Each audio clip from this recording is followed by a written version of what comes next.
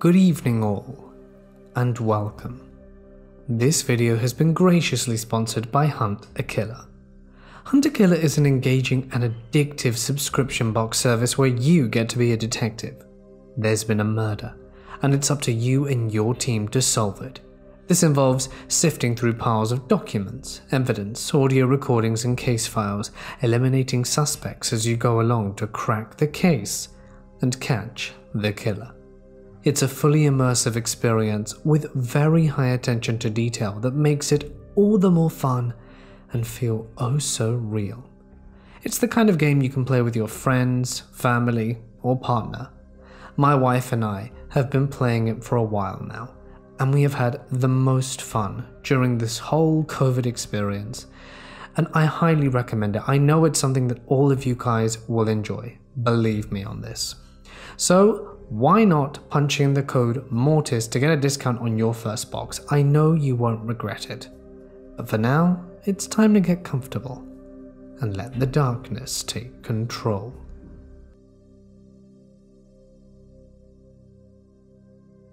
Because of my general interest in horror, and because they were appealing to me for a while, I collected dolls. It didn't matter what type. I had some porcelain ones, some pretty looking horror movie level dolls, that sort of stuff. They were generally creepy to the majority of people, and of course, they're haunted, was a joke that I often had. But I never had an issue with any of them. In fact, I thought they were all comforting. They all had names, and I had a history of picking them out, usually from antique shops, but I had two or three from a house sale after the owner passed away. On October 28, 2017, my parents were out of town, so my brother and I were home alone, and my dad sent me a picture of the coolest doll they found at this church thrift shop. The doll was the epitome of everything I liked. I loved clowns and circuses, and the soft pastel colours were my absolute favourite. So much so that I was writing a story at the time that reflected these interests. The doll was perfect, it felt like it was for me, like in that Coraline sort of way, but instead of looking like me, it was just something no one else could have wanted.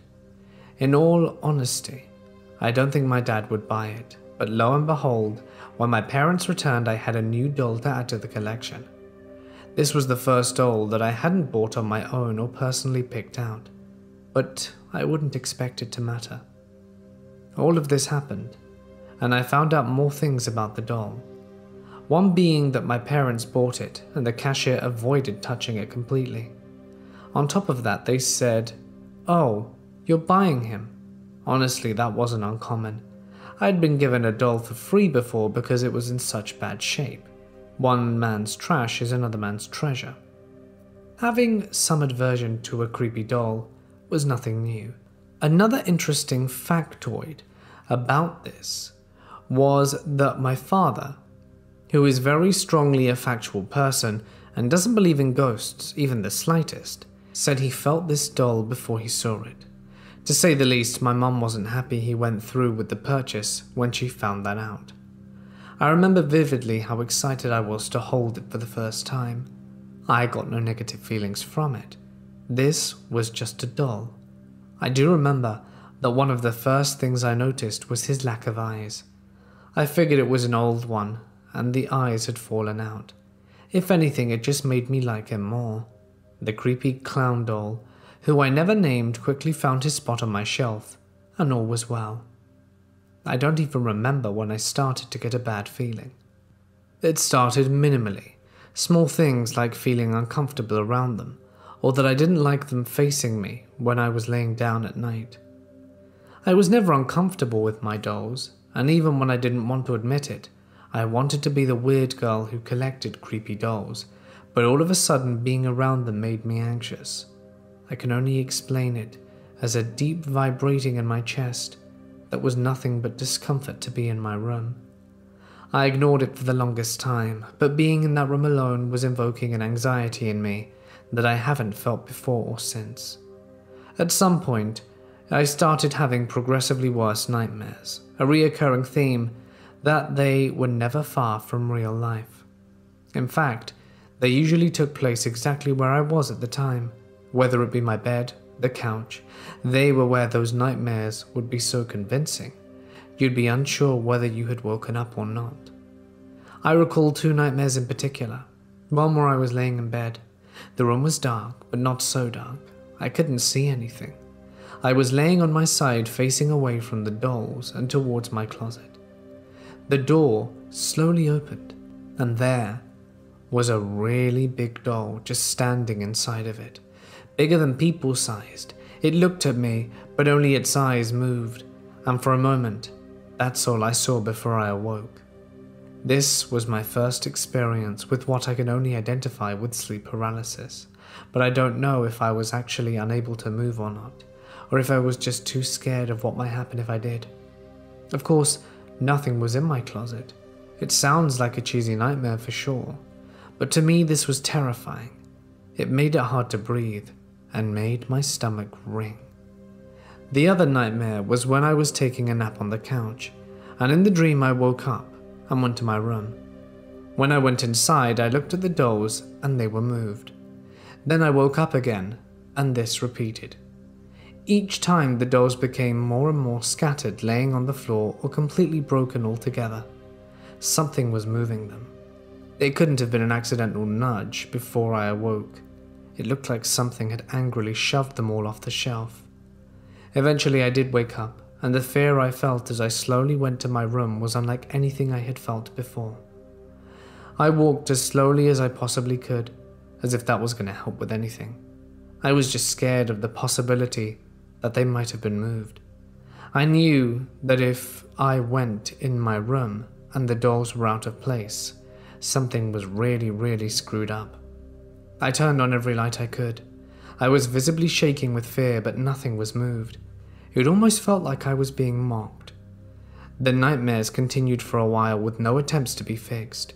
If anything, I just made them worse.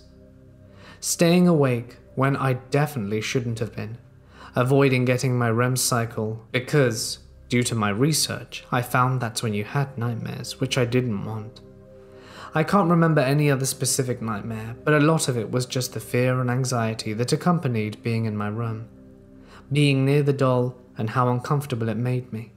My dad even said he went in my room to get a pair of headphones, and his hip, which has been broken since I was about eight or so, was suddenly full of a shooting pain and when he left the room, it stopped. It was those small, strange encounters that made it so out of the ordinary. I would do anything to get away from that room when I could, and I didn't even realize it anymore. It was my subconscious telling me that I needed to fear my own space. It was my own subconscious telling me I wasn't safe there anymore, and I usually tried to listen to it. After New Year's is when I put all the dolls away the night before I had decided to move all the dolls out of my room, I hadn't focused on the fear of any specific one, so I just moved them all out. That same night, I awoke and moved them back into my room. I don't know why, I just felt like they needed to be back. They couldn't be sitting out there. I just needed to move them back in.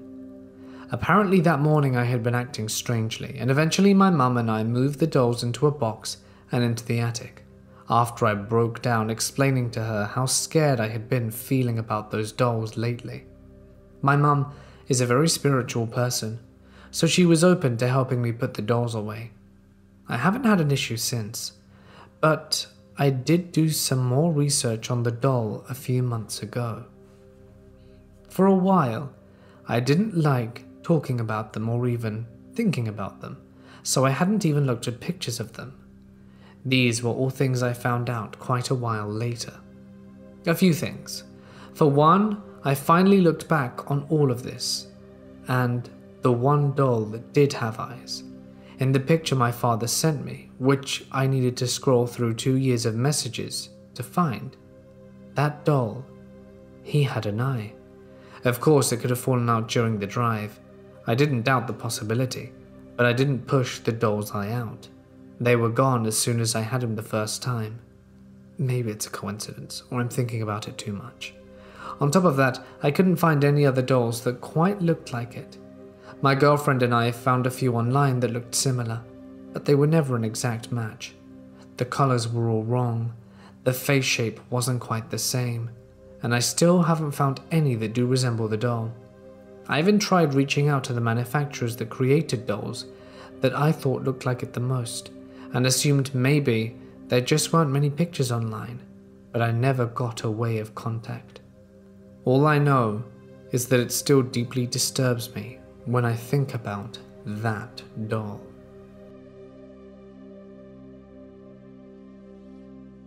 My flatmates and I moved into a gorgeous house two months ago.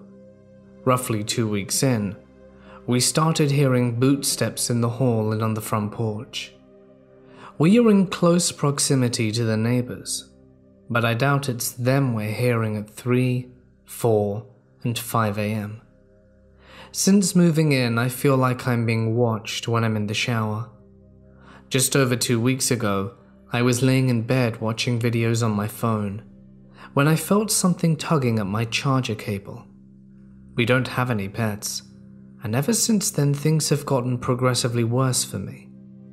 I hear muffled voices outside my room at night, and I've checked them out on plenty of occasions, and there's no one there.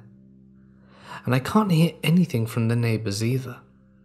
On a night that I find myself home alone, i.e., without my boyfriend, I tend to have quite explicit dreams, though never with my boyfriend, and I wake up feeling guilty.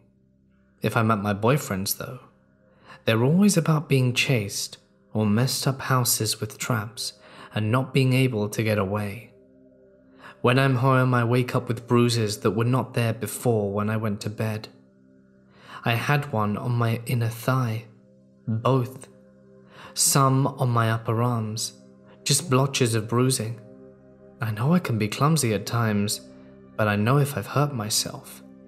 I pulled an all nighter just over a week ago to do some work for a website that's launching soon, and I saw someone's head and shoulders around the corner from the dining room at about 5:30 to 6 a.m. Only one of the flatmates was awake. I asked if it were him, and he said it wasn't. Last week, I went to pull the lounge curtains because there was glare on the TV. I had my door open to air my room out because I'd been away for a few days. and I saw the palm of an androgynous hand waving at me. I told my flatmate, and he said that they were going to check it out. We stepped into my room, and we were instantly freezing, breathing fog and all. It doesn't feel like my room anymore, it just feels wrong. That night, I decided I was sleeping on the couch in the lounge. But come roughly 5 am, just as I was drifting off to sleep, I hear something tapping at the keyboard. All our computers are in the lounge, or we would never see each other because of work schedules. And I was the only person there, and as previously mentioned, we don't own pets. My computer was off though, so I couldn't see anything. However, it was staying on at night with a blank document open. All of this means I'm having a lot of trouble sleeping. And then just now, I heard four rather heavy raps at the window. I really don't want to look, and I'm not going to. I know there's something wrong in this house. So things at the new house have still been going on, and in some respects are picking up. The other day I left my phone on my desk while I went to the bathroom. When I returned, I noticed that my phone was half removed from the faceplate. Everyone else was either asleep or at work at this point, as the flat comprises, for the most part, of night shifts. About a week later, I had gone out the front door for a cigarette, as there was a pretty decent storm blowing, and the backyard offers no protection in a southerly. I had locked the door behind me when I came inside, because I was the only person home. Just over an hour late. I heard the front door open and close, and I went out to greet whichever flatmate had come, thinking that someone had finished work early but I couldn't find anyone in the house, and the front door was now unlocked. About 4:30 the following morning, I was sitting at my computer in the lounge when my right shoulder got very cold. I peered sideways at my shoulder and almost noticed that a single strand of my hair was bouncing up and down, almost as if someone was pulling a pig's tail. I spent a few weeks away from home, and last night was my first night back in the house. At 1am today, I went to go to the bathroom before going to bed. As I pushed open the bathroom door, I saw a black, shadowy figure standing by the window. I thought nothing of it, as I was half asleep. But as I went to sit down, I noticed that the bathroom scales were going through the tarring process. These are electric scales and have to be stepped on to turn on. But ever since you move, they have to be lifted slightly for them to register that you want to use them. After questioning the flatmates that were home at the time, I found that no one had been in that bathroom previously to me. And seeing that I use the scales regularly, I know that they only stay on for about 30 seconds after use, or 15 seconds if not being used after tarring. At midday today, I went to the loo, then decided I would shower as I needed to wash my hair for the weekend. I went to get my towels and hairbrush from the sleep out, and when I came back, I went to turn the door handle to quietly close the bathroom door behind me. So as to not wake up my flatmate in the next room with banging doors after his graveyard shift, only to discover that the bathroom door had been locked.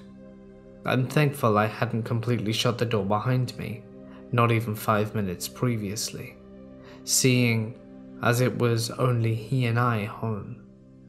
I hadn't worried about locking the door while using the loo. And also, while I was showering, I noticed that a leg to the onesie that was hanging on the back of the door was sort of jerking around at odd intervals. But none of the towels or my gowns, which were also hanging on the door, had been moved at all. The weird dreams are still happening, albeit less frequently, while I was at my sister's place. This place still feels terrible. I sleep with my light on and documentaries playing on YouTube on my phone. But thankfully, I haven't woken up with any new bruises in the last few weeks.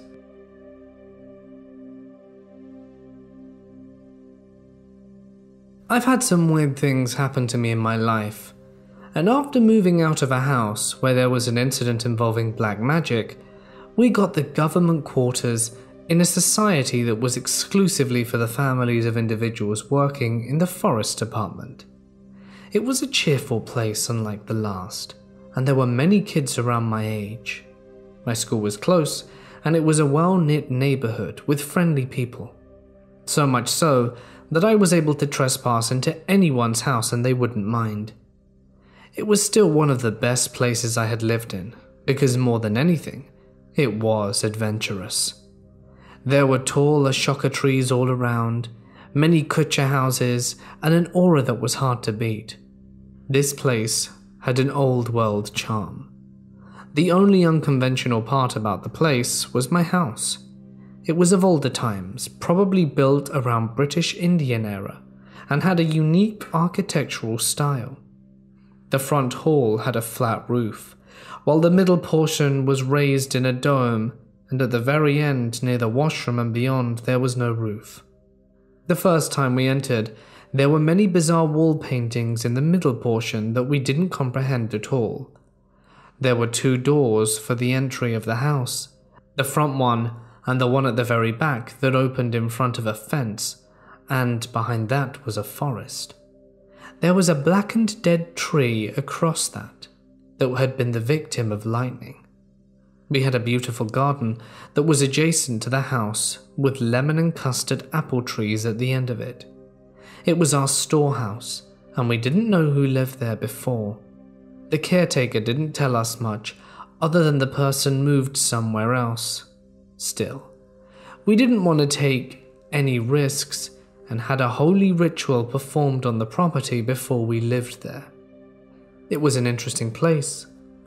I made new friends, and we used to play in the society compound all day long after school, The forest office was in the society itself near the main gate. The place was surrounded with rocky terrains and forest. As kids, we explored a lot, and I often saw soldiers from afar marching around behind the terrains. There was another forest office in the compound, which was old and closed forever. It was locked, and the old office almost in front of my house, at a diagonal distance, was built on an elevated stage. It had high walls and a rotting structure. It was a home to many mossy outgrowths, and it had no roof either. By the side of it was a burnt house that had been abandoned. Nobody went there. It was instructed by the temple priest and his wife, as there was a black dog that lived there that had gone mad. We used to obey that, as it was near the forest, so poisonous snakes and monkeys were a daily sight and we'd gotten used to it. The monkeys came every evening at 5 o'clock, and I had some really funny incidents with them. One day we were playing cricket near the old office when an older boy played an aerial shoot to the building. There was no roof, so the ball went in, and I was sent to retrieve it. I climbed on the edges of bricks that were jutting out of the terrain adjoining to the office and entered from above. It was a very creepy place, with a deadening black smell all around. I found some bones lying in the trash, probably left by dogs. I came out, went about my business, but there was something off. The next day in the morning, my mum came to us as we were talking about some news. She had a dream last night where she saw a lot of buried treasure in our house. It was in the back wall of our storehouse, and also there was some voice that guarded it. She saw someone digging there in the dream, a faceless man. We all went into the garden and opened the storehouse, and the wall at the back was put up again. Someone did try to break it down. It wasn't painted and was mere bricks and cement, albeit thicker than the other ones. My mum didn't proceed further. She said that she heard the voice in her dream saying that to acquire the gold, one had to sacrifice their children, and it couldn't be escaped or bargained with, and she wasn't willing to take such a chance. We went inside in a few minutes and heard someone at the door. It was our neighbour that lived far in front near the main gate adjacent to the new office. He had walked all the way down to our place, and it was early in the morning. It was a bit surprising because we didn't have much interaction with him. He had a confused expression and he saw my mum and aunt and said, You'll find this funny, but I had a dream about your house. He told us the exact same dream that my mum said, and even the same location. It was very strange. While we were all talking, we saw another girl walk towards us. She lived near the terrain, and to our surprise, even she had the same dream. Everyone wanted us to investigate now, but Mum was in no mood. One thing that she wanted to do was know about the place. The caretaker was questioned, and he revealed that the person who lived there was of Anglo Indian descent. He lived here some 22 years back and was a treasure explorer. He knew of the treasure in this place and tried to search for it. It was said that he sacrificed his own son to get the wealth, but wasn't able to bear the guilt and went crazy and disappeared. The broken wall was put up by someone at night the day he disappeared. No one saw who did it. The man had murdered his son right in front of our washroom in the last section that opened near the forest. It gave me shudders because there were frequent power cuts in those days at night, and I used to take long showers at midnight. The idea of something lurking and guarding the walls and adjacent treasure were enough to give me chills. We mutually decided to do nothing about it and left town later that year. This happened when I was around 15 or 16. I still remember the craziest details, but this is not one of them. Since I was a kid, my biological mother had sort of shoved religion down my throat, So, over the years of not seeing her and just living with my dad, I had developed my own belief in myself and my independence. Ghosts, spirits, and energy weren't really on my mind at the time. I was always interested in horror movies and stuff like that. My dad was on a trip to Mexico. He had called me one day after I got home from school and asked me if I wanted anything. As my dad and stepmom would usually buy me a little traveler gift or something when they went on business trips. I said yes and asked him what the options were, whether it be a keychain or a poster. He said he had stopped in a shop that was sort of deserted, like it was being shut down or going out of business, and it was located in the middle of nowhere. He said that there were some old paintings, and being into art at the time, that really piqued my interest. I only remember the description of the one painting that he had described, solely because of the occurrence that had happened once it was in my possession. It had a very old, dark wooden frame, and it wasn't super smooth, but wasn't rough or beat up or anything like that. The painting itself looked like it was on white marble, and what the painting is, is that almost a cartoonish traditional skeleton dancing in a graveyard wearing an outfit that Shakespeare might wear. The painting overall looked really cool, but as soon as I got it, something was off, and it wasn't super noticeable. But when you look at it, it just was unsettling in the slightest. The first occurrence I had with this painting was the first week after I had owned it. It was hanging over my door, and may I add that at the top of the painting there is an extremely super thick rope that is used so I can put a nail there so that it can hang. I had gotten out of the shower after I got home from school, and I walked into my room. As soon as I walked through the door, the painting fell, and I felt the wind from the painting fall behind me, and it felt like it was a few inches away. Any other day I would have just dismissed it and thought about how crappy it would have been if the painting had hit me, but I didn't realize that there was something extraordinary going on. So I put my clothes on, got a stool, and spent about three minutes making sure the painting was not going to come off the nail. When I got off the stool, I gently pushed the side of the painting to watch it swing back and forth to ensure that it would stay put. I had to make sure that the only way the rope would come off the nail was if you were to push directly up and pull it off. I left and walked into my bathroom to take a leak and pick up my clothes from the floor, and when I walk in, back through the door into my room, the painting fell off and hit me in the shoulder. This had honestly freaked me the hell out on many different levels, and it doesn't even stop there.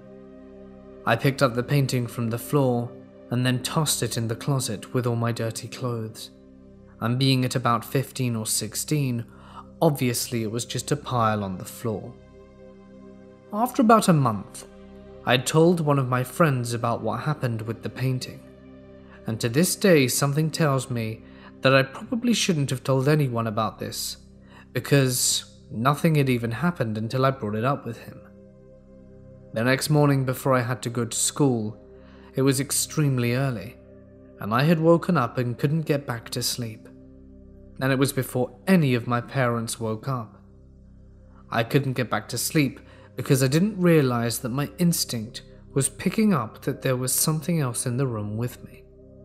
I sat up and just sat there and stared at the closet doors. I sat there for about five minutes, debating on whether or not I wanted to see what had sounded like scratching coming from the inside of my closet. I threw up my blankets, pulled my feet onto the floor, but as soon as I stood up, the moving in the closet stopped. At this point, it was reacting to the sound of me, which was scary and terrifying because I realized that the painting was in there and from what had just happened the month before.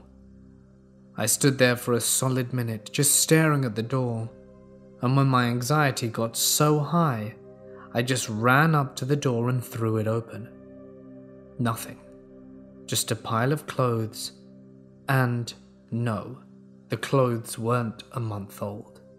I just kept the painting on the floor because I really didn't want to touch it. I just stood there looking into the closet and down to the floor when I noticed the corner of the painting. As soon as I made eye contact with it, there was an inhumane and grotesque, deep pitched growl that emanated from the closet.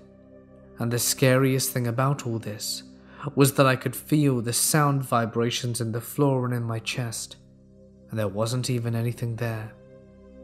I was feeling the vibrations from something I couldn't even see that was making the noise. I ran out the room and went downstairs for the remainder of the hour that I had until I had to actually get up for school and sat on the couch watching TV in the kitchen with all the lights on downstairs.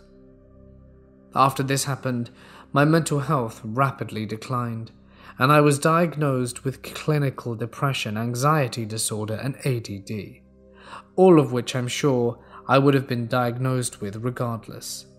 It just felt like when I was home, these feelings intensified by 10. My parents didn't believe me, so I gave the painting to my dad and told him to put it in storage and that I didn't ever want to see it again. About a year later, and a quarter, I was 17. I had switched rooms and moved into my sister's old room because she had moved out. I'd put the painting up on the wall, but was only there a week until I had an experience where I woke up with my body facing the wall and couldn't move. I'd passed out and left my door open and heard something had started from the stairs and then began to walk through the hallway and into my bedroom. As soon as the steps stopped by the side of my bed, I could move, but nothing was there. My family owns a big dog and a small dog, but I know it wasn't the dog's because when they walk on the wooden floor, you can hear the sound of nails and it's very high pitched. I haven't seen the painting since after that happened. I saged my entire house and hit a dip in my mental health again. It was messed up and evil. I was paranoid, and my parents thought I was just lying, since I was also dealing with the issues between me and them. Safe to say, I never want to see that painting again, for fear of what it might do.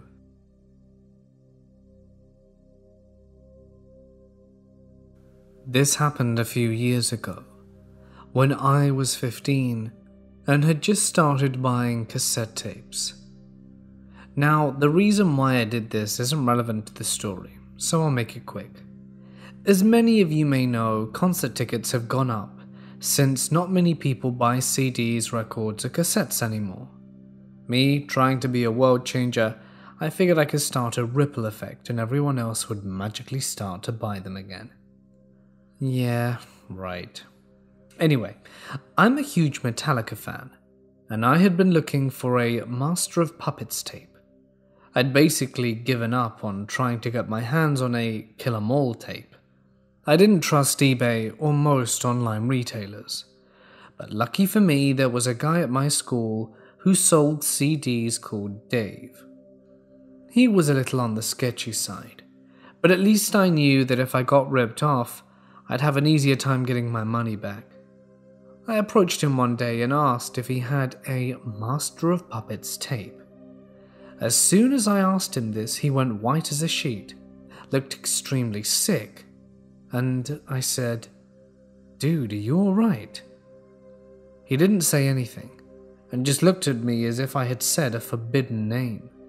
A few seconds go by, and he grabs the tape from his locker, practically throwing it at me, taking my ten bucks as he speed walks away. I stood there for a moment, still in shock by how he reacted. I looked at the box.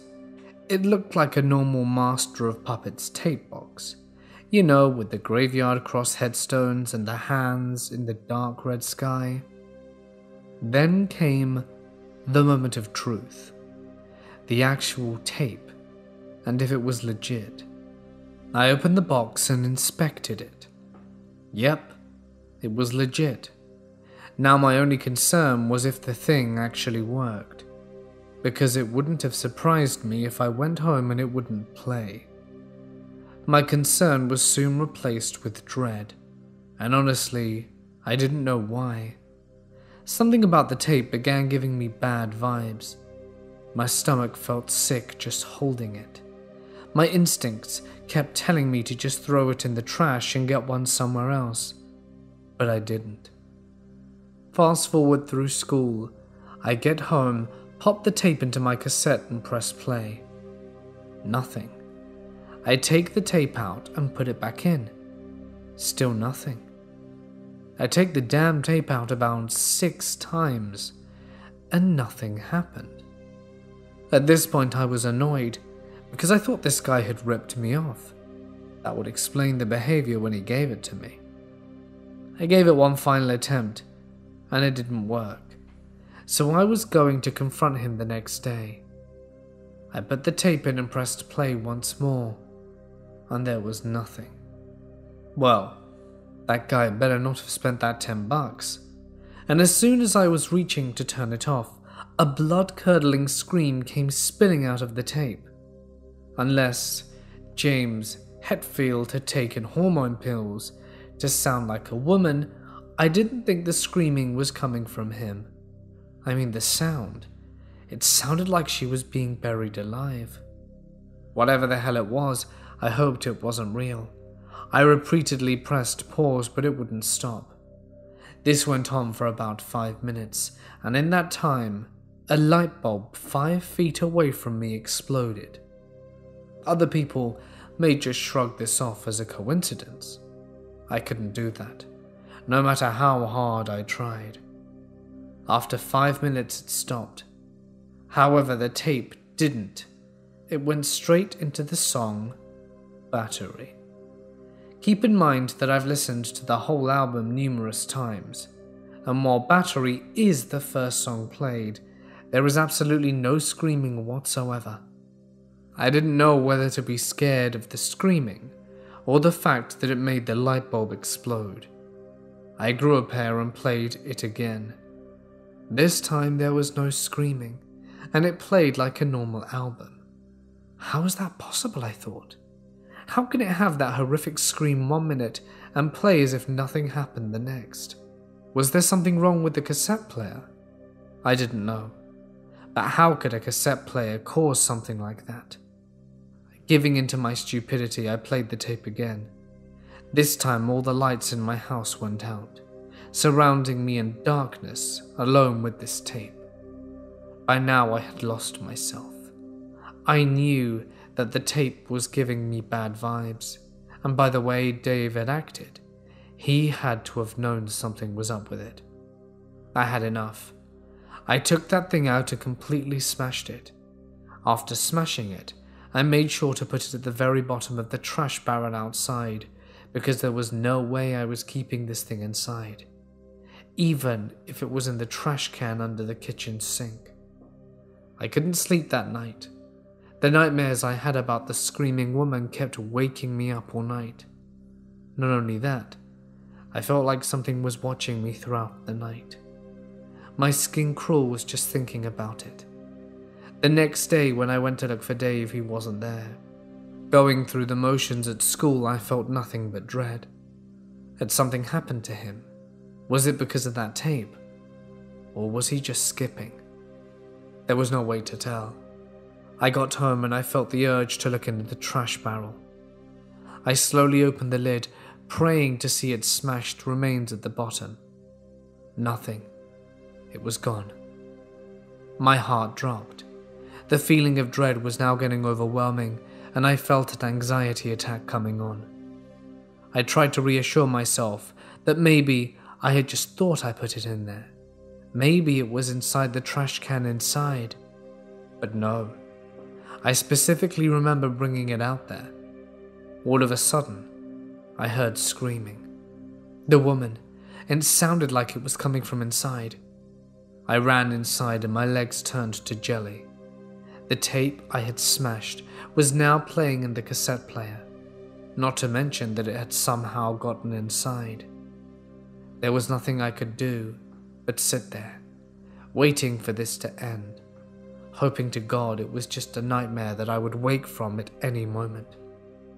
I have no idea what the hell happened to that tape to make it so evil, but I don't want to find out. The sounds of the woman's screams still haunt me. It also doesn't help, the tape keeps coming back, no matter how many times I destroy it. However, I learned a lesson from this, and I hope you did too. Be careful who you buy from.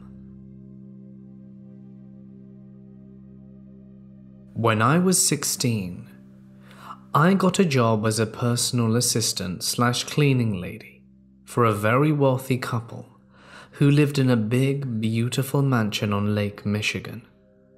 It was a great job at the time, but after a while I had to quit because of everything that was going on. I made $12 an hour as a 16 year old girl, and that was just crazy to me at the time. But now I know it's because the homeowners couldn't get anyone to stay and work for them. It could very well be because they're both major assholes, but I honestly didn't see them all that much during the school year, so it was fine. I would work 40 hours a week in the summer and part time while I was in school. During the school year, I would hardly ever see them homeowners and would be left alone to clean the house. I had a key, alarm code, and gate code, so I could let myself in and out. In the summer months, I had help from a few other employees, but in the school year I did not. At first, I loved being in the house by myself. Don't get me wrong, the place was absolutely gorgeous, right on Lake Michigan so I always would open the curtains to let the sunlight in and blast the surround sound speakers while I cleaned. It wasn't until I was by myself that I started noticing how weird this place was. Nothing ever exactly felt welcoming about the place. Sure, it was pretty to look at, but it was modern, and everything was hard marble and stone, not very homely feeling. My first experience happened when I was cleaning one day, in silence. I remember specifically not turning on the music because I had a bad headache that day. All of a sudden, the speakers to the upstairs part of the house turned on. The way their speaker system works, you can control it by a touchpad in the kitchen, which would play the music everywhere besides the basement and master bedroom. To play music in those areas, you'd have to go to that touchpad and turn it on by controlling the pad and sync it up with the rest of the house. The reason that was so alarming was I was the only one there. I walked up the stairs to check out what was going on and figure out why and how the music had turned itself on seemingly by itself. I looked around and called out the homeowner's name, thinking someone came in without me noticing or something like that. But the doors were all still locked and no one was home. I shut off the music and went back downstairs, not thinking much of it. It started happening more often. I'd be listening to the music and it would turn off, or it would be off and would turn on in a completely different area of the house. I brushed it off as faulty and didn't think much of it. The second most prevalent story I remember from working was when I was cleaning the workout room in their basement. I never wanted to go in this room, and I really couldn't tell you why. Something about this room was weird. It was just super cold and dark, and I felt very anxious while being in there. I definitely tried to avoid it, but my boss would get mad when dust would build up, so I forced myself to go in there once a week to tidy up. I was in the workout room, using a broom and a mop, and I remember sweeping up the floor and prompting the broom against a machine while I used the mop. Suddenly, the broom fell over, hitting the wall, the baseboard, and the floor as it fell, causing three distinct knocks. What I heard after scared me so badly, I refused to go back into the room by myself again. Immediately following the knocks made by the broom falling, three knocks responded in the exact same pattern the broom fell. But it was coming from inside the wall. I know what you're thinking, but no, it was not just an echo. It was not a scared animal. It was knocking. Deliberate knocking. I was completely alone in a big, quiet house in the middle of nowhere, and someone was knocking back at me from inside the wall. To this day, I have absolutely no explanation for what I experienced. Lastly, this was the first and only time I have ever seen anything paranormal with my two eyes. Then I know this time it's not me being paranoid or crazy, because I was with a coworker who saw it too. Sometimes, my boss would rent out her guest house and we would clean it before the guests arrive. So, this guest house has a glass hallway leading from one main area of the house to another. I was cleaning the glass while one of my co-workers, Bob, was standing next to me. Just then, I catch a glimpse of what looks like a boy in a blue shirt running by. I turned my head just as Bob turned his, and he asked if I had seen it too. Those are the craziest things that happened. It was nearly six years ago and will always haunt me.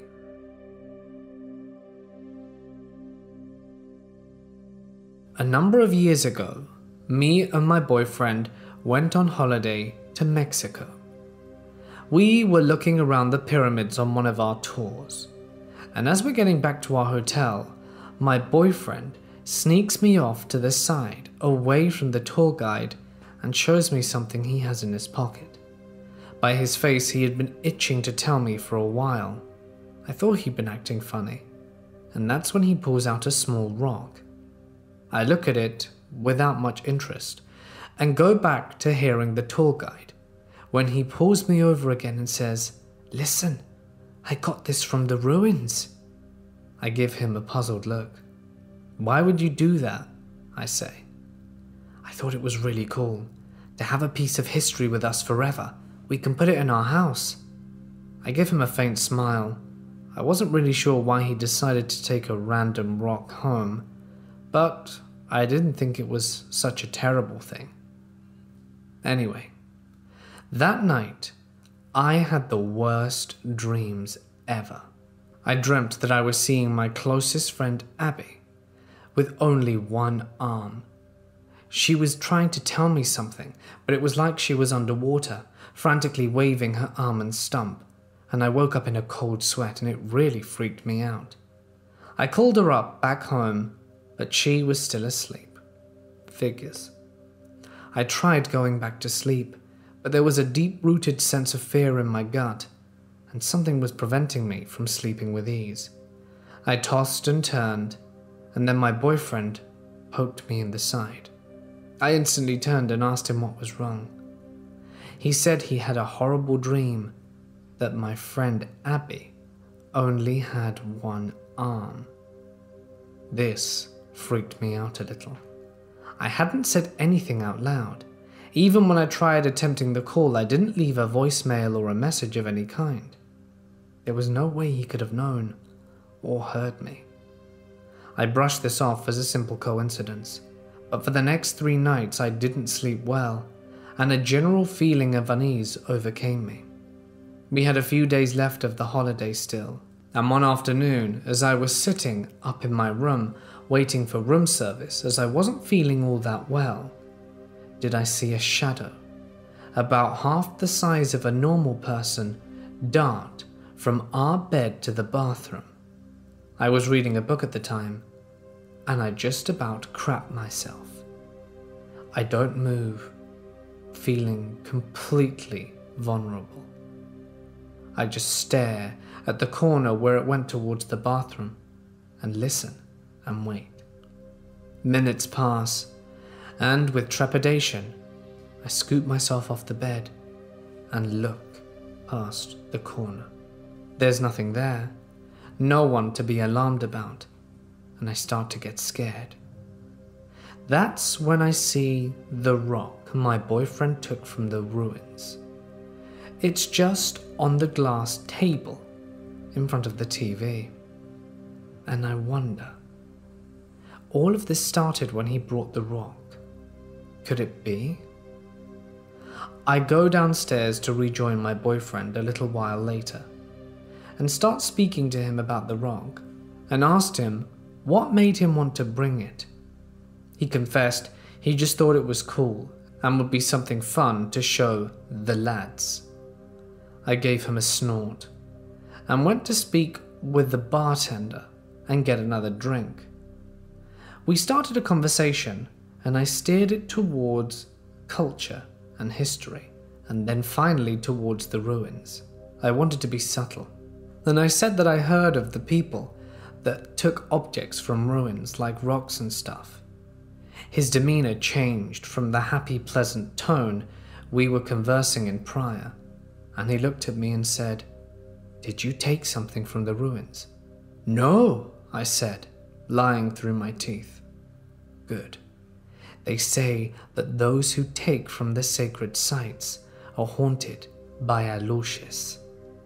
I asked him what this funny word meant, and he said that in Mexican culture, they are these tiny dwarf like spirit things that can drag your soul to the ground and kill you if you're not careful, that they are not to be trifled with.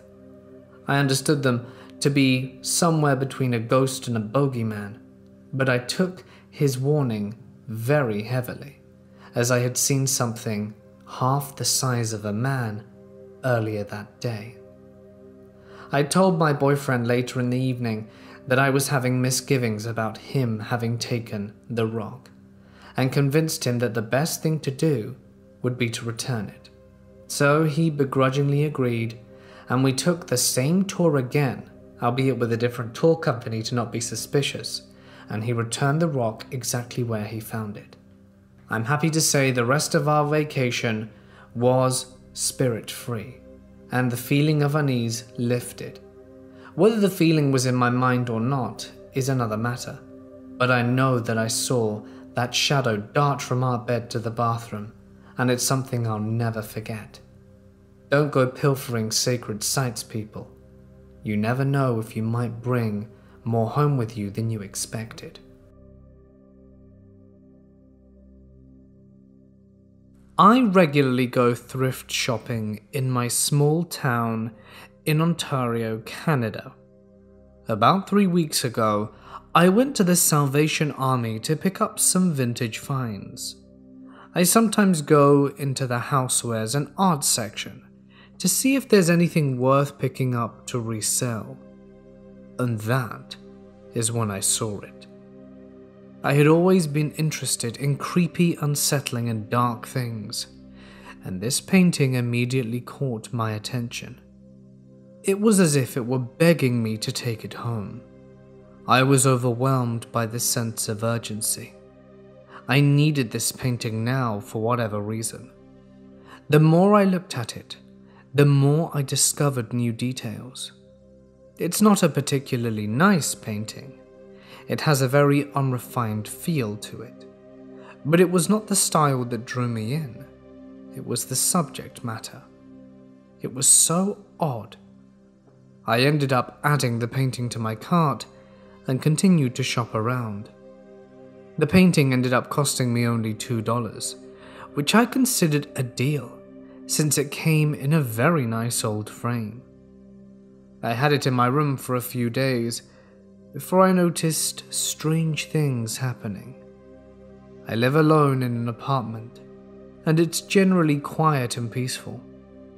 This all changed by the third day that I owned the painting. At first, harmless things were happening, and I thought nothing of them. Instances included cupboards opening, things falling, lights flickering. I just attributed the cupboards opening to me being forgetful, things falling as me not properly putting things back, or the light bulbs as needing replacing. By the sixth day, the nightmares started happening. In my nightmares, some dark figure approaches the side of my bed from my closet. While I'm stuck in some sort of sleep paralysis, not being able to do anything while it comes towards me. It gets closer until it's at the side of my bed. It looks at me while frozen, but doesn't even have eyes. I've had this recurring dream for five or six nights since I obtained the painting, all with the figure from the painting coming to visit me. After the first nightmare, I knew that these incidents had something to do with the painting. The energy coming off it was just dark, and it got darker and darker until I was so uncomfortable that I moved the painting out of my room. Here is where things get even weirder. I decided to investigate the painting further and take it out of its frame. As soon as I took it out of the frame, this smell enveloped my house. The painting never smelled prior. It was only when I removed the glass and wood frame that the stench of sulfur came over everything. It was putrid. I immediately noticed the back of the painting, and it is terrifying. After the fifth or sixth nightmare, I moved the painting to my basement storage locker at the bottom of the apartment complex. The dreams have stopped, but the cabinets opening and stuff like that still happen. Something else started too. I sometimes woke up in the middle of the night to hearing what sounds like scratches in my front door. When I go and investigate, there's nothing there. I've asked my neighbors, but they don't hear anything. In addition to the paranormal occurrence, my health has also taken a hit since I got the painting. I've been feeling unwell, run down, and depressed all the time. I tried telling people about it, but no one really believes me. The only one who has said anything that makes me feel like I'm not crazy is when my dad came over and took a look at the painting. The first words to come out of his mouth were, Damn, that's dark. The painting itself has a very odd subject matter. This is what I see. Please let me know if you see anything different.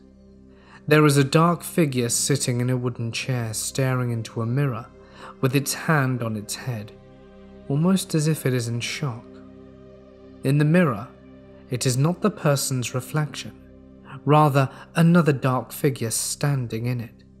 It almost looks like its hands are cut off, its arms are long, and there looks to be blood on the mirror. The walls are cracked and show plaster. There are also scratch marks with the same red on the mirror as on the wall.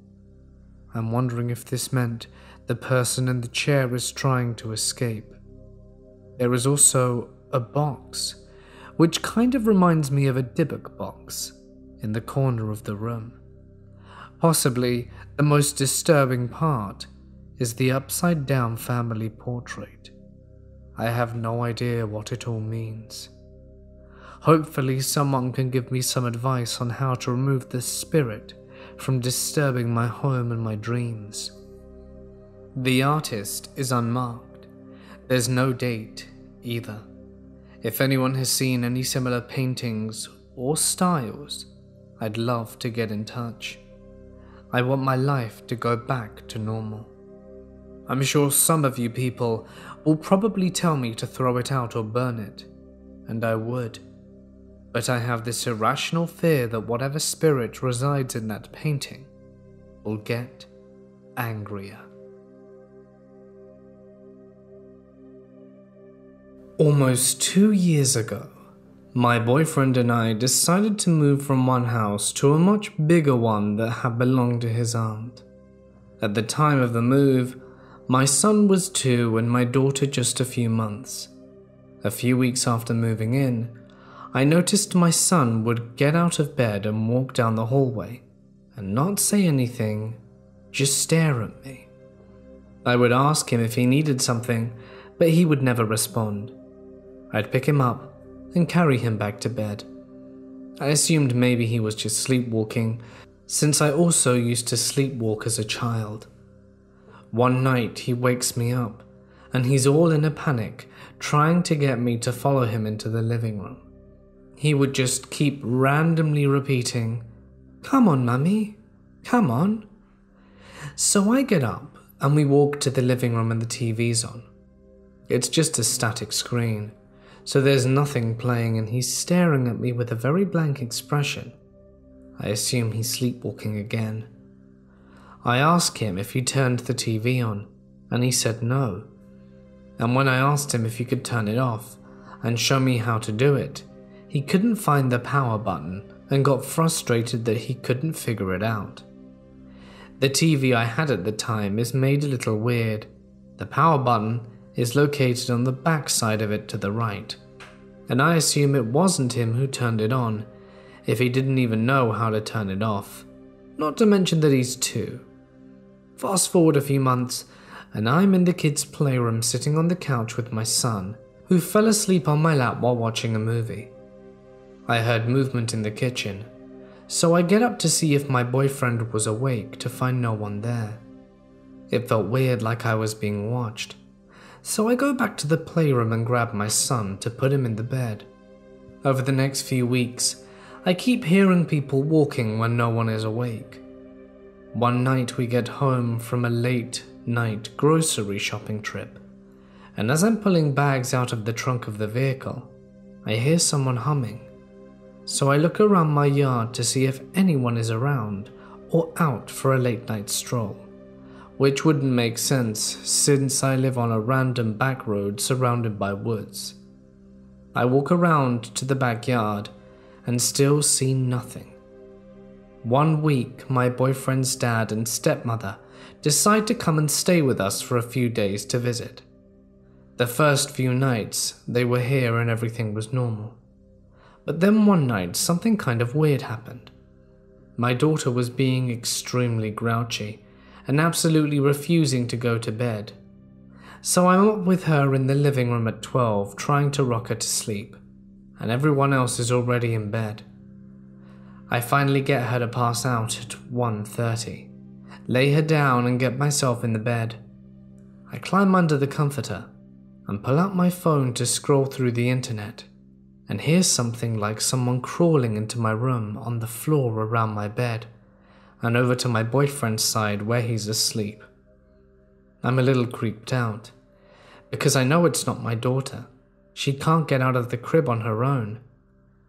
Then I think maybe my son is up, trying to sneak out of bed, but I'm still too nervous to look over there. So I get up and walk out the room to peek in on my daughter and make sure she's still asleep, and then go down the hall to my son's room to see if he is still soundly asleep in bed. I get back to my bed and try to play it off, like I had probably just imagined it and needed sleep. The next morning, everyone's in the living room drinking coffee and just talking. And I look over at my boyfriend and ask him if he heard anything last night. He said no, he didn't wake up last night. But his stepmom chimes in with, I heard you in the living room at 3 am. Does the baby usually keep you up that late? I told her it wasn't me. I was already in bed. But I heard the baby banging around on the walls and moving toys. I assumed you were still up. I told her it wasn't us and that we'd already gone to sleep at that point. And now, currently, I keep having the dreams of myself laying in bed at night, and a figure of someone just walking in the room and standing over me, only to wake up and realize it was a dream. Discomfort for sure, and I don't really have anyone to discuss this with, nor do my boyfriend's family have a belief in the paranormal. But I just really want to speak about it with someone, because it looks like I'm crazy. Have you ever heard of Kachina dolls? To understand these stories better, you have to know a few things about Navajo culture. They believe that you are not to own Kachina dolls because it is said that they come to life at night. Traditionally, these dolls were made by Pueblo medicine men. When they were made, their creators would bless them and put their hair into the center of the dolls. This was before they were mass produced by other people and other tribes. The first story takes place in the late 90s. I wasn't there for this story, but it happened to my cousin. She moved into town and found a trailer to rent for a decent price. It was already furnished by her landlord that had just moved. She had asked my cousin not to move too many things as she would be moving her stuff out over a period of time. Inside the trailer was a fake fireplace with a mantle on top. On the mantle were a collection of Kachina dolls. My cousin was a little wary of these as they are taboo to own, but she left them in place as requested by her landlord. The first night is when things started to get weird. So my cousin gets ready for bed and lies down.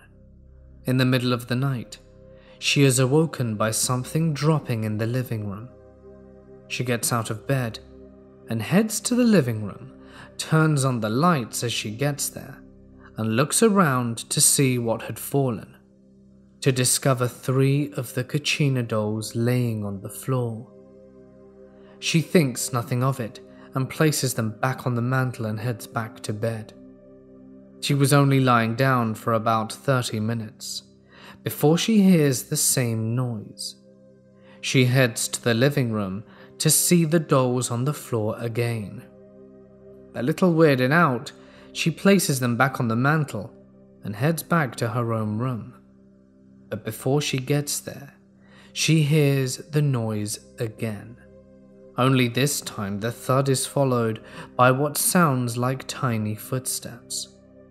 She goes to the living room to find the dolls further than they were when they had dropped in the first place.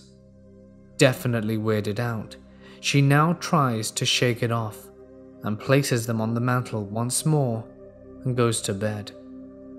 She was in bed for another 30 minutes when she hears them fall, and then there are a little set of taps, like feet running across the floor. She finds the little dolls on the floor by the door. She concludes that there is no way the dolls could have fallen that far on their own. She was officially freaked out at that point and decides to collect the dolls and put them in a box and places the box in her closet. All night, she could hear the sounds of little scratches coming from the box.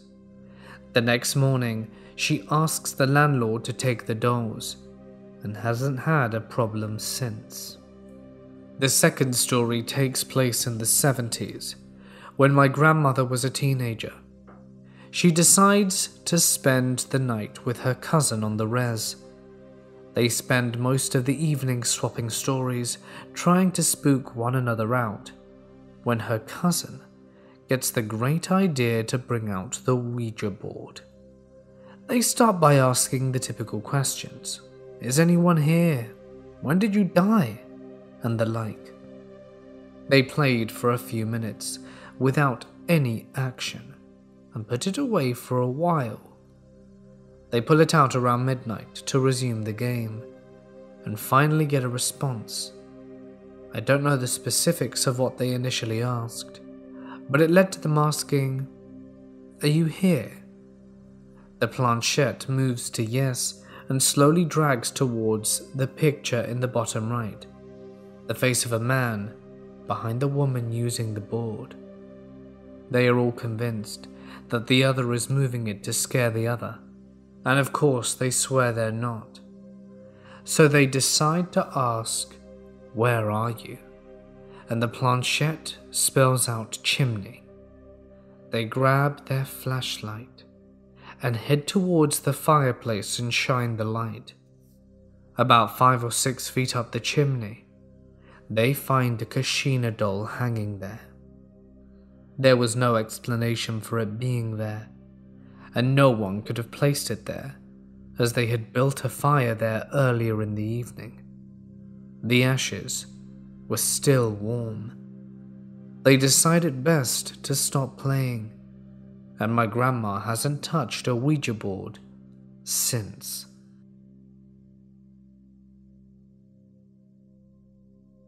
My girlfriend and I both attend university, and we live in a relatively old apartment building in the town of St. Cloud, Minnesota. The building was constructed around the 70s, and though it's nice, something about it gives off an extremely eerie feeling, almost a dark, heavy feeling. But since rent is cheap and is close to campus, we moved in anyway. Let me preface and say that we live on the second floor of the building and have neighbours above and below us. We have never met our neighbours, oddly enough, but assume they are just older residents. We are both true believers of the paranormal and have always been curious about it. My girlfriend has never experienced anything paranormal firsthand, but for me, I have seen odd things throughout my life that I can't explain and this experience happens to be one of them. This story begins as any normal night. We got done moving in and unpacking our things and decided to take a break and relax for the rest of the night. We were watching Netflix and we paused the movie and started to hear a loud banging sound above us, almost as if someone were constantly picking up and dropping heavy things. We look at each other and my girlfriend says, Maybe someone's moving in upstairs? We didn't immediately think it was paranormal, so we ignored it. A few days go by, and the banging started to happen around the same time it did the first. For some reason, we weren't creeped out or anything like that. We just thought this time was the only time that people above us could move in, because maybe they got off work at that time. Later on, the same night, while getting ready for bed, we heard overly loud footsteps as if someone had heavy steel toed boots and was purposely stomping their feet against the ground. While in bed, we all of a sudden hear a blood curdling scream coming from a female upstairs. It was so loud, we could have sworn it was from right beside us. So we jolted awake and both had pale looks on our faces. We were terrified. We thought we should call the police, but decided not to. Perhaps it was a movie they were watching but it was just too loud to be a movie. One morning I was in the bathroom getting ready to go to work, and I hear a faint cry coming from the same female voice, as if she were crying in the bathtub or somewhere near the bathroom since it was right above me. I then hear doors slamming and drawers constantly opening and closing. This sound goes on for another few minutes, and all of a sudden it's dead silent. My girlfriend wasn't around at the time, but she still believed me. No sounds of movement or crying slash screaming since then, and it's been silent for a few days now. The next week, my girlfriend and I decide to go to the front desk of the apartment building and tell them about the sounds we'd been hearing in our apartment. The reception lady looks at us confused and begins to hesitantly tell us that nobody has moved into the apartment and that it hasn't had a tenant in over two years. Dumbfounded, we ask if anyone could have broken in and caused the sounds, and the lady reassured us that if someone were to break into the apartment, the alarm would go off, alerting local authorities and the building's security. But they never had any alarms go off, nor did we hear any. We can't help but think what's going on there, and we decide to do our own investigation work and do some research at the local library in town. I didn't find anything that mentioned a murder had occurred in or around the area we live in, and to this day I'm still trying to find answers. We do hear the sound on occasion, but knowing that absolutely no one lives up there just creeps us out even more. We don't know what to do and can't break our lease. It's the middle of the semester, and we were too scared to sometimes even step foot in that apartment building. A number of years ago, my family moved into a new house in the countryside. It was a beautiful Georgian mansion, very rare and very old, beautifully maintained. The previous owners were selling it at a ludicrously low price, and my parents had always dreamed of owning a home like this, and so they obliged. It wasn't before long, probably within the first few days, that we figured something was off. The house needed a lot of work, restorative work, lots of the wood had started to go mouldy and definitely needed replacing.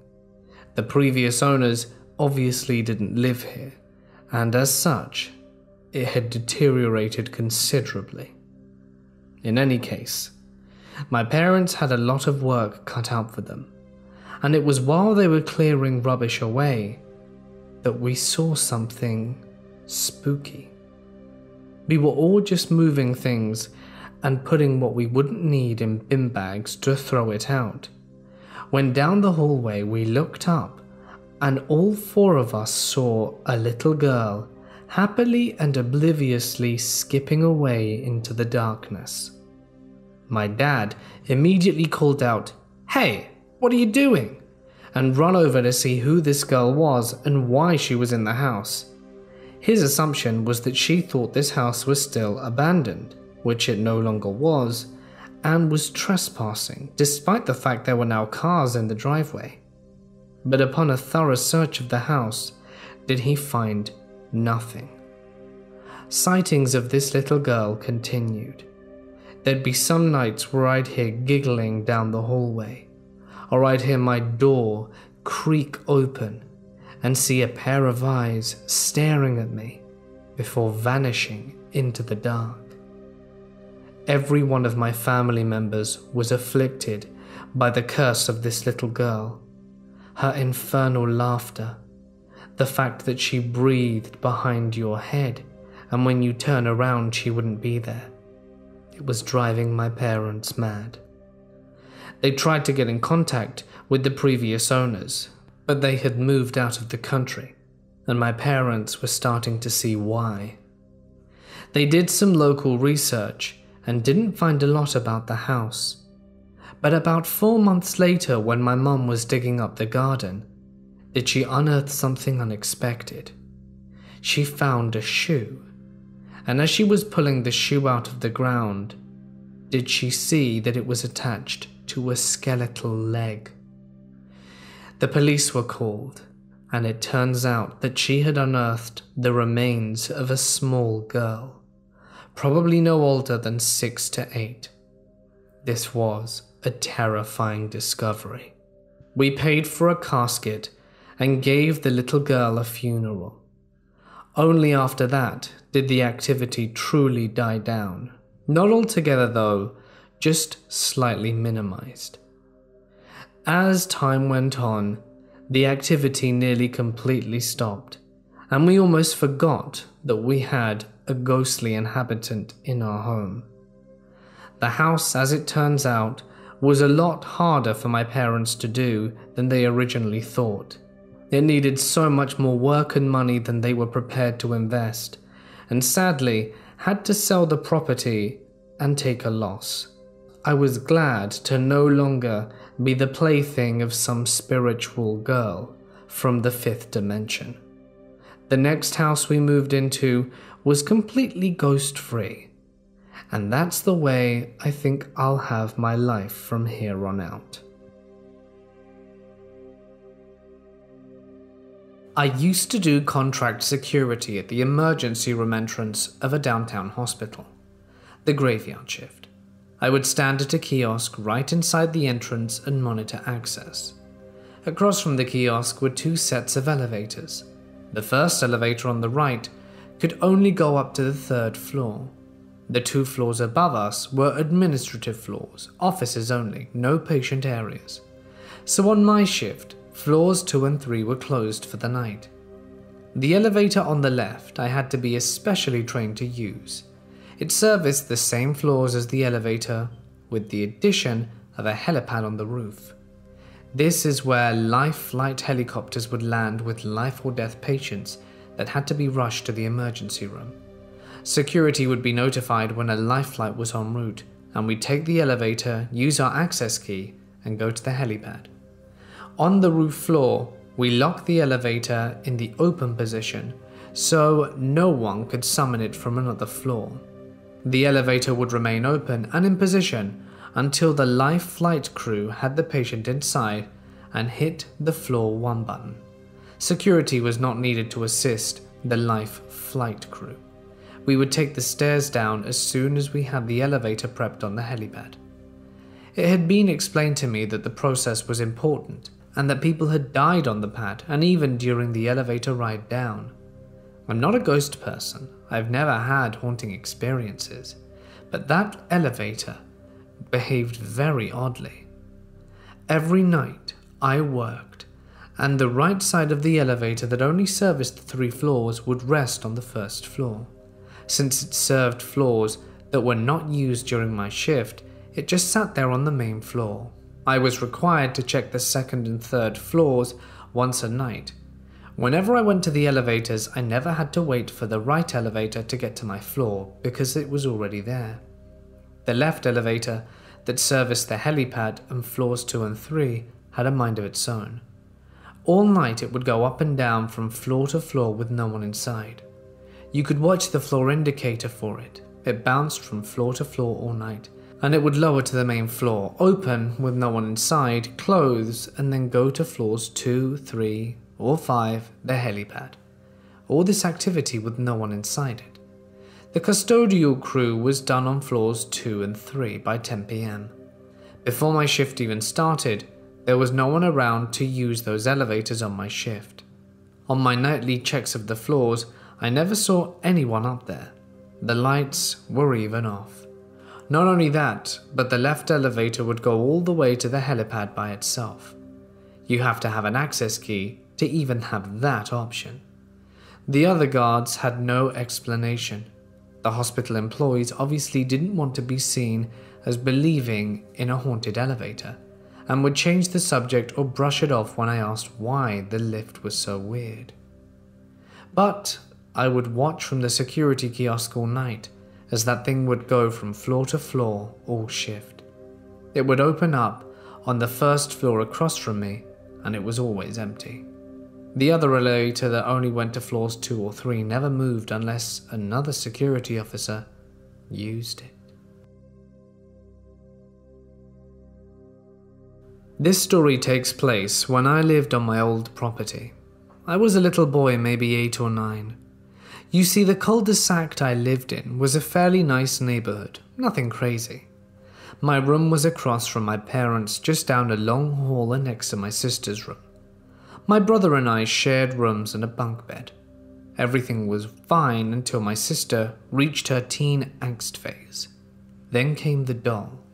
It was a creepy looking porcelain doll with a black tutu and had a punk rock kind of motif, and she loved it. She got it from her godmother, a woman we no longer speak to. My brother and my mum and I never liked the thing because it gave us the creeps, but hey, it was her doll. However, slowly but surely we began to see a change in her. She was beginning to become more reclusive and angry with my mother for no reason at all, and even cut herself in front of me once. Weird, yes, but nothing quite supernatural. Then she began to sleepwalk. At first, we thought it was normal, maybe just stress from being a teenage girl, I don't know. But she started to creep me out.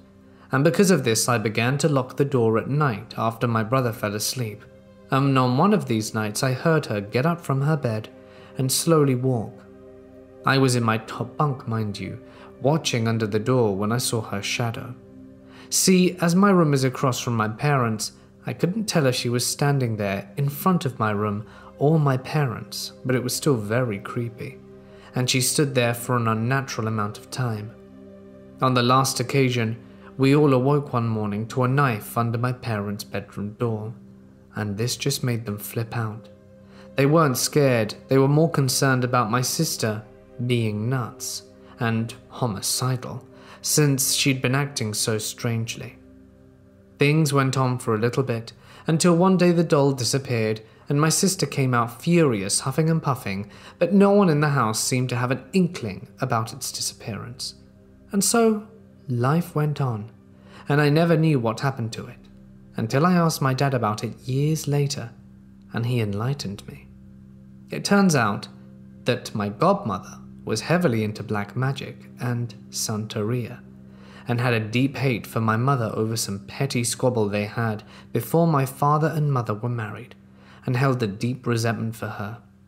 I guess firstborn females of the family is important in Santeria and so, when she saw an opportunity, she gave my sister that horrible doll we hated. But what actually happened to the doll was the funniest part. My mum is super religious, and I guess at some point she had soaked the doll in holy water and left it in the trash for the garbage man to take out to the dump the next day. Another funny thing my sister never sleepwalked again. I was in Louisiana two years ago.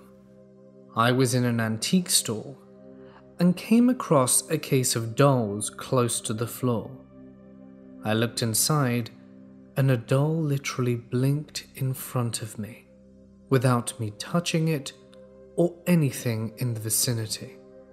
Fully upright, as the eyes open and close when laying down for some of these. I came back to Louisiana to visit family, and I went back two years later and purchased the doll. Maybe it was a mistake.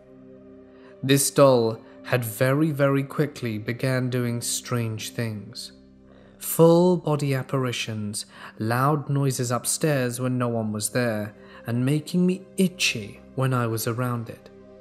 It also brings joy when it's not doing weird stuff and it blinks its eyes in full view and isn't subtle at all. I sleep with the doll as I would rather it be closer to me where I can see it at night, rather than somewhere I can't. I believe it to be harmless. It's from the 60s and it's a little Dutch boy. Looks like he's wearing home sewn clothes and hand whittled clogs. Does anyone have advice on what I should do? I really don't know. But there's a bit more. I thought about getting rid of the doll. I couldn't sleep for four days after sharing the first experience that I had. I was always looking around behind my shoulder and was scared beyond belief. I didn't want to get rid of it on my grandma's property, so I had to keep it until I was somehow able to dispose of it. I saw a full body apparition several times. It looked like a human, but fully flesh. It was almost like a hairless cat, dirty, and seemed a bit bloody. Like I said, this was in the human shape, so it was extremely terrifying. Once I found an opportunity, I ridded myself of it. I drove into the country and found a tree with a hole in it, covered the doll in holy oil, and left. My great grandmother just so happened to have blessed oil by the Pope. Not exactly sure which one, though. After that, everything went back to normal. That antique shop seemed to have many seemingly haunted objects. Before I left to return to Georgia, I made sure to swing by the shop to say goodbye. I looked on the floor and saw a very old flat doll with a worn away print on the top, being held down by a large brass cross, and I got a shiver down my spine. I am a collector of vintage and antique items, including mid century fashion dolls. I usually purchase them from thrift stores, estate sales, or very occasionally on Craigslist. Recently, I purchased a group of 1960s Barbie dolls that were a real bargain. I know the woman had a great knowledge of vintage dolls since she used to sell them on eBay, so she knew what they were worth. Still, I didn't question why she was selling them at such a low price. I was delighted with said purchase and couldn't wait to fix them up for my collection. A few days later, my bedroom suddenly became infested with flies. It was absolutely insane how many of these dirty little beasts filled my room. They seemed bent on driving me mad, as they were constantly buzzing in my face or landing on or over me. Some folks say that flies are a bad omen that signify the coming of bad times. These flies were of plague like proportions and were also a true enigma of why they arrived when they did. Around the time, I became very ill with flu like symptoms. The weirdest part of this illness was a strange feeling like my brain was burning. I also experienced severe headaches that included crazy brain fog that felt like torture. It's hard to articulate exactly what the feeling was, but I've never experienced such an odd feeling in my head. It was so intense that ending my life crossed my mind. One last oddity to add to the pile. Usually, I'm a very vivid dreamer with dreams that always have the same basic elements. After the purchase, my dreams have become dark and muddled. When I wake up, I feel exhausted as if I haven't slept. So, why did I equate these mysterious happenings with the recent purchase of the dolls? I know it's not entirely logical, but it's just a strong feeling I have. What should I do? Could an inanimate object be cursed or bring bad luck? Maybe that's why she sold them for so cheap. I just want to add that I do not practice the occult nor believe in ghosts. The reason being is that after my father passed away quite recently, I saw no sign of him. My best friend also ended his own life some years before that, and I felt that if I were ever to experience a spiritual visit, he would have given me some sign. I just want to believe, but I can't.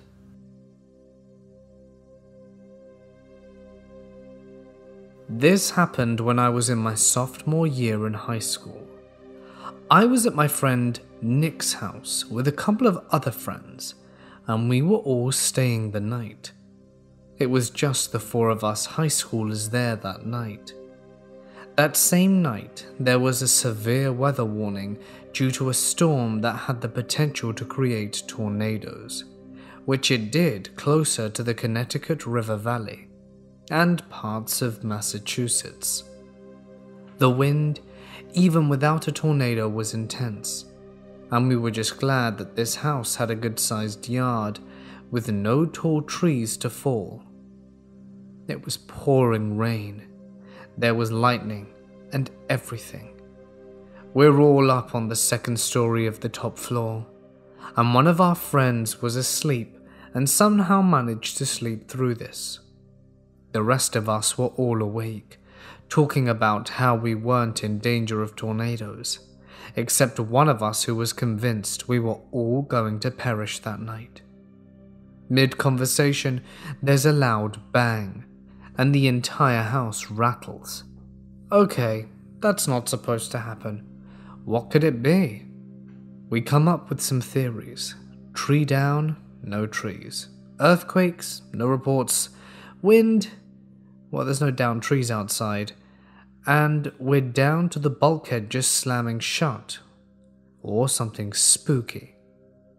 We grab a few knives and head downstairs. In the living room, we all notice for the first time how many porcelain dolls Nick's mother owns. We check every room to find nothing but those creepy dolls, but nothing that could cause a bang. There are two rooms left the basement, and a closet that's barely enough to fit folded linens. We decide that if the bulkhead isn't locked, then we forgot to close it, and there'll be water in the basement, and the sound we heard was the wind knocking it shut. If the bulkhead is locked, we remembered to close it. The bulkhead was locked shut.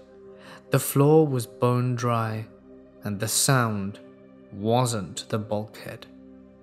There's one room left the damn closet. What could be in a closet big enough for only Houdini himself to squeeze into? We open it up, and something falls, and we hear the sound of glass shattering. We look at the ground. It's one of the dolls. What was it doing in the closet? And why would it be propped up so easily to let it fall? We didn't care. We just went upstairs and did our best to fall asleep.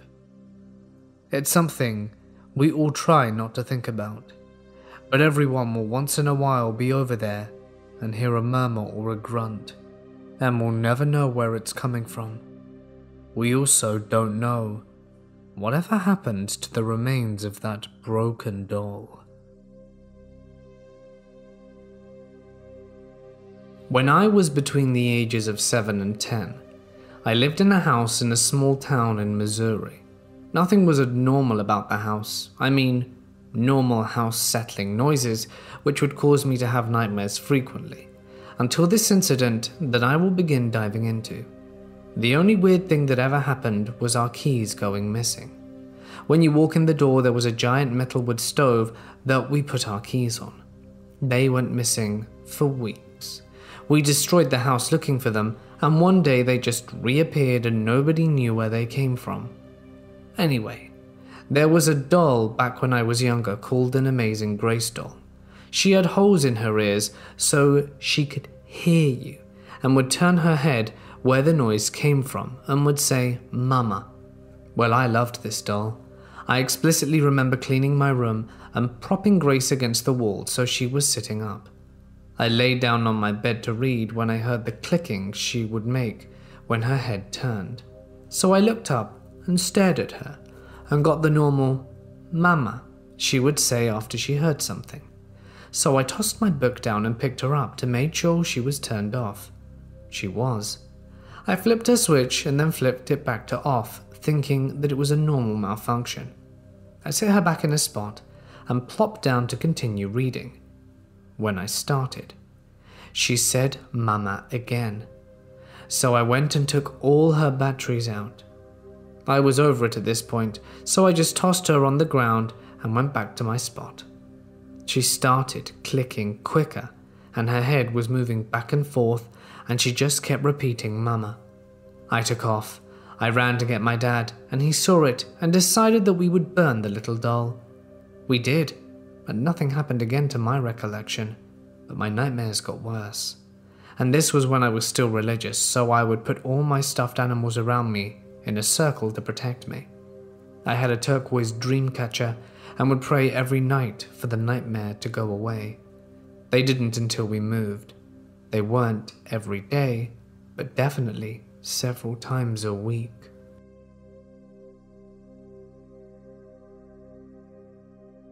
About six months ago, I received a haunted doll I bought off eBay. Now I have no idea whether this thing was actually possessed, but the previous owner claimed to have several bad experiences once she purchased it from a garage sale, claiming it smashed into her dinner room set when she was doing her hair in the bathroom. Walking out with a bat to investigate, only suspecting a break in, only to find not a single sight of anybody or anything, and the dining ware and table was untouched. The next experience she had was when she was getting ready for bed and heard a noise coming from behind the chair. The doll was sitting in, and say a dark figure with red eyes glaring at her with anger. Anyway, onto my ownership. When I received the thing, I was fully aware that a possessed object may not show signs of any activity from a few hours up to a few months of being relocated. I never experienced anything. I let it sit on a shelf and collect dust, only remembering it physically exiting my house every once in a great while. I would just randomly think about it, and even when I was doing something completely unrelated or busy at the house. A few days ago, I had lit a burn pile in my backyard to get rid of a bunch of branches and logs, when for some reason I had the idea to grab the doll and burn it to be done with it.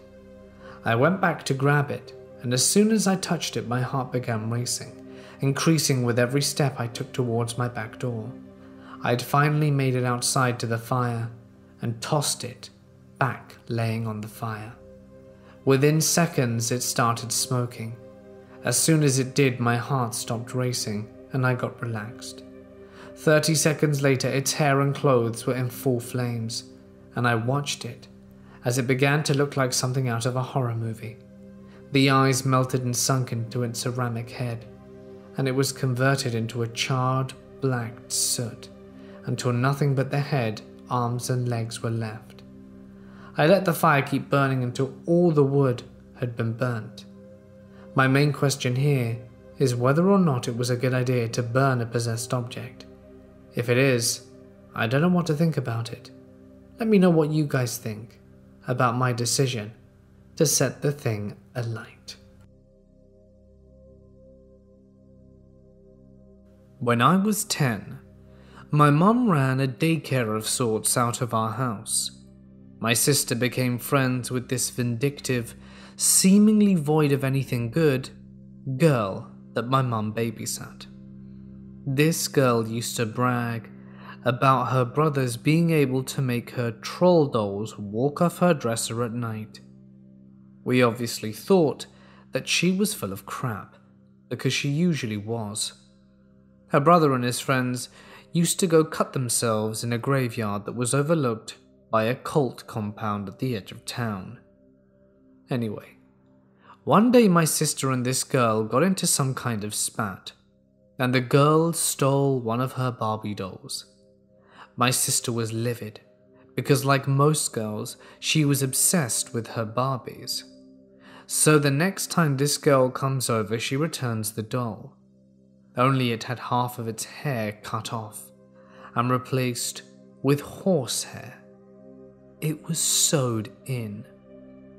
That night, my sister runs into my room screaming at me that her Barbies are alive. Now, we grew up in a pretty strict religious environment where lying was met with a beating. Being that my sister was the least likely to lie out of us three siblings, I started to get freaked out. According to her, she woke up and for some reason couldn't take her eyes off this particular Barbie. She said it stood up, stretched out like a human would after a long sleep, and turned her head to look right at my terrified sister. My sister pulled her covers back over her head, and the Barbie ran down the stairs, and that's when she came bursting into my room all frantic. I was so sure she was telling the truth that I sat at the top of our stairs with my metal Tonka truck ready to smash it if it came back up. We never saw the Barbie again. Every time I've asked my sister about it as an adult, she still sticks to the same story. Unfortunately, I'm a Goodwill addict, and I saw this gorgeous picture that I simply had to have. It was a whole $5, and when I took a closer look, it was a black and white puzzle that someone had put into a heavy duty frame. A big cat sprawled out into the snow, with snow falling all around him, done in black and white in a steel frame. It was very beautiful. Anyway, I get it home and hanging it in my guest bedroom. My bestie comes to visit, and she is standing in the guest bedroom doorway getting ready to take a shower. I come over to the doorway, and we were there just gabbling, and something caught our eyes at the same time. The picture lifted up and away from the wall and gently fell onto the carpet while propping itself up against the wall. She looks at me and asks if I had just seen that. I reply that I did. This picture slash puzzle is very heavy. Two zigzag brackets in the back to hang on two corresponding wall nails. I picked the picture up and made sure everything was secure. The brackets were perfectly fine. The nails were both still in the walls with no sign of stress. My bestie stays a few days longer and leaves. While she is with me, no other events occur, and after she leaves, I get this floodlight on the closest door, and there are zero lights from the window, and I'm standing in a pitch black bedroom with a glaring bright light on the closet door. It lasted one week and disappeared. It was simply too odd. This happened about 12 years ago, when I was about 11. It was the day after Christmas, and my mum and stepdad and I were sitting in the living room watching TV. It was past 9 pm, and my little brother had already gone to bed. Now, my brother and I had gotten remote control cars for Christmas, the kind that had rechargeable batteries in both car and remote. As we were watching TV, my car that had been in the middle of the living room floor starts making a noise like it's turned on. At this point, all three of us look at it and witness it drive around in circles twice to make a perfect three point turn, then park up against the wall. We all kind of just look at each other, and my mum goes to check on my brother, as he was supposed to be in bed. She comes back looking a bit concerned, saying my brother is flat out.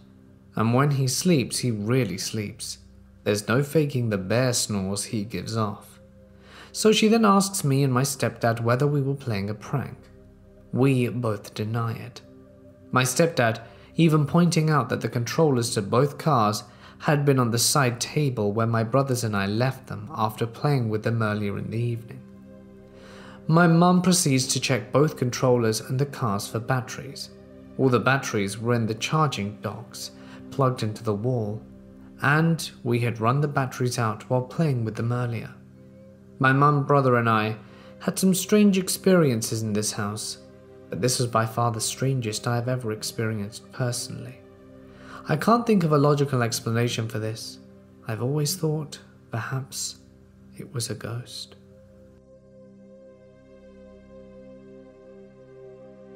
I was very young when this happened. I don't think I'd even started going to school yet. I don't remember much about that stage of my life, but I still think about this experience to this day. It was near Christmas, and there was a doll my younger sister and I looked forward to playing with every year. It was an angel, where you'd press the button and she would sing Silent Night. The thing is, though, once I was done playing with it, I had to return it downstairs. My parents eventually realized we forgot to bring it downstairs, so I was sent upstairs to retrieve it alone. As I went to my room to get it, I heard the doll sing Silent Night. The doll had a history of going off on its own, so I thought nothing of it. I went up and opened the door. My room was completely dark at the time, but when the light from the hallway came in, it shined on the pitch black figure of a little girl who was playing with the doll. The girl immediately turned her eyes on me, and I stared back at her in shock.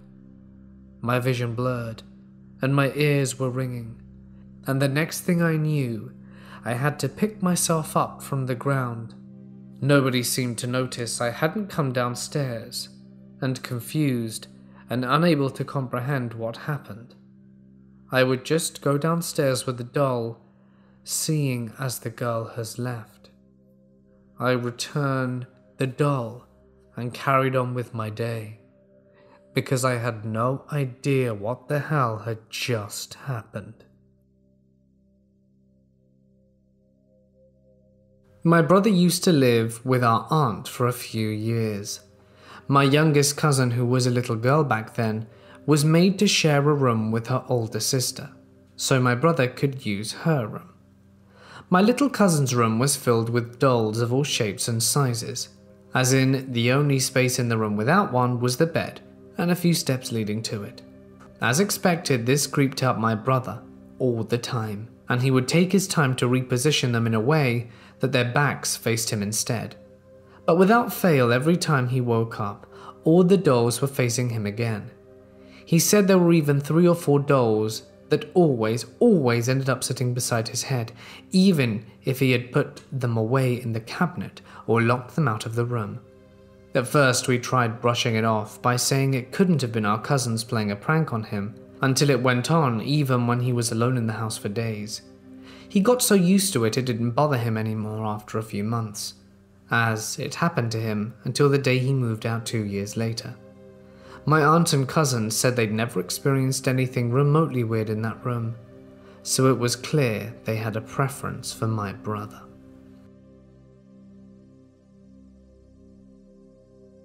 My daughter has several old porcelain dolls. When she was nine, she got a sudden interest in them. I had never bought them for her because they are often very delicate, and I didn't want her to break them. I took her to the Goodwill and she begged me for one.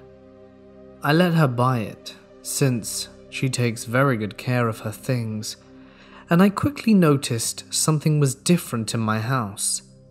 I felt like I was being watched. Shortly after that, she asked for another doll at the Goodwill. Over the years, she has collected three. I noticed she was very careful about which ones she picked. She treated the dolls like gold, and she keeps them sitting up in the corner of her bed. She tells me the dolls like me, since I'm so careful with them when I move them to make her bed. I see shadows around my house and hear soft voices. Nothing that makes me feel in danger, and I'm getting used to it. But it is, nonetheless, very freaky.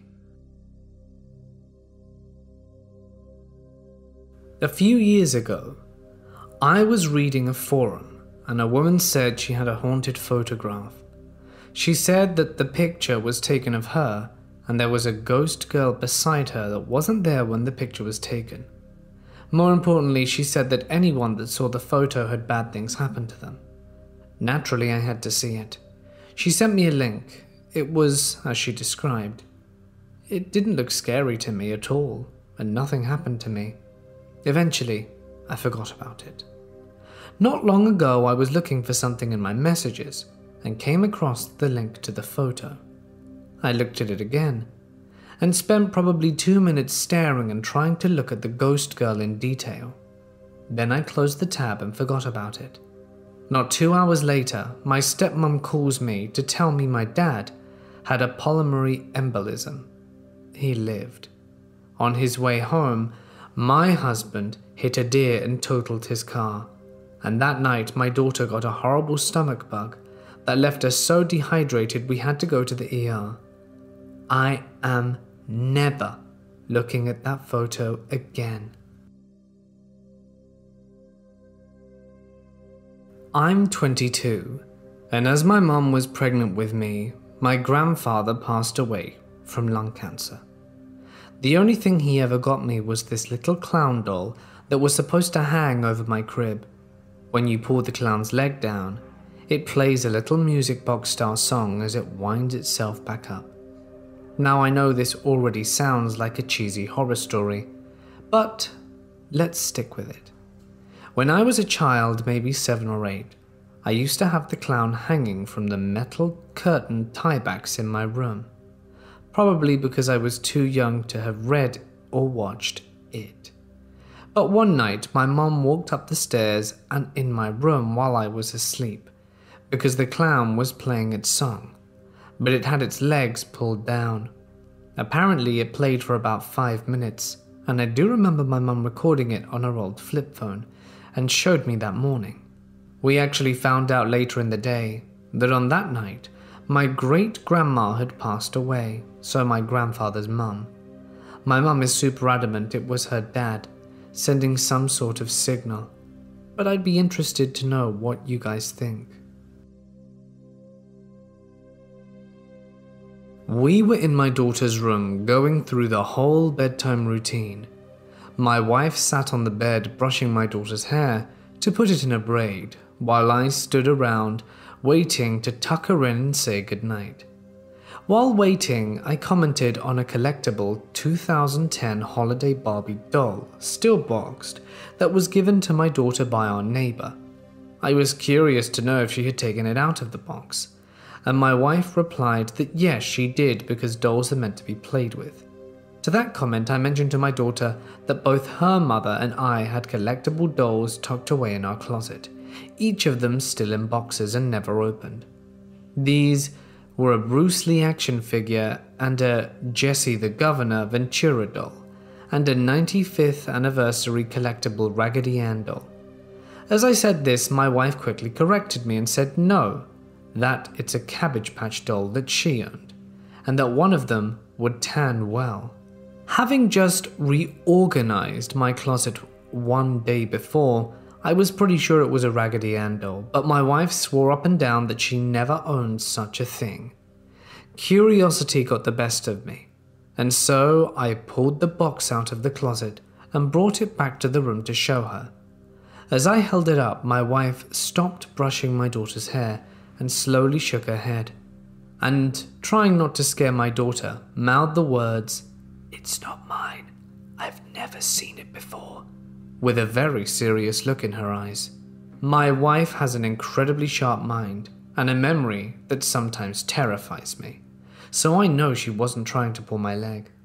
I asked if it might have been given to her by her sister, but a quick phone call confirmed that her sister had not. She once did, however, give her a collectible Mary Poppins doll, which both of them remembered. So here we are now in our home, a doll for which we have no idea where it came from. I thought I had chills already running down my spine at that point, until I realized the doll was coincidentally the same as Annabelle, the haunted doll, which spawned horror movies and are now kept in the Ed and Lorraine Warren Occult Museum. It's probably nothing, but seriously, we freaked out. My wife does have a Cabbage Patch Kid tucked away in another closet, but it's not this one.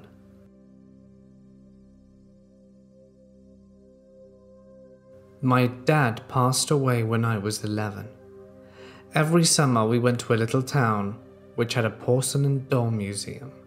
I loved going there, hanging out with my dad, and had several dolls myself.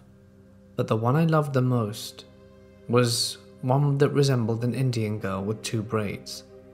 I kept it on a shelf that was facing my bed, pushed it to the corner, and I had it for three to four years.